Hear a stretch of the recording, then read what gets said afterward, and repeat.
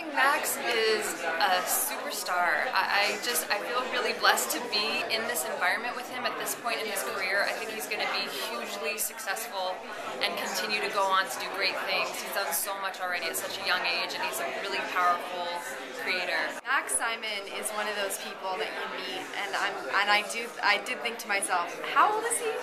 For his age and for just who he is in this world, he has so much wisdom to offer and just so much love. I feel like his love is so centered and real that you feel it. Max has just brilliantly guided me and all of us really through this process of finding ourselves.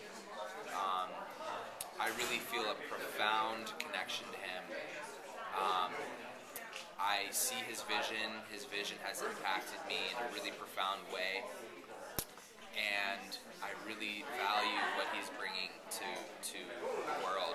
Max is an amazing person who really knows how to um, command a room convey his message really, really clearly.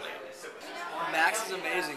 I, I will say, going into it, I was kind of like had some hesitancies. I was thinking like, oh, he's just all business, and which which he is, but he is conscious business, and he is a guru at the same time. You can really tell that he wants the most for all of us. Mm. He really wants us to succeed because that's what he does. He, that's his love, is to see other people succeed and to see this world become a better place. So he, he's amazing.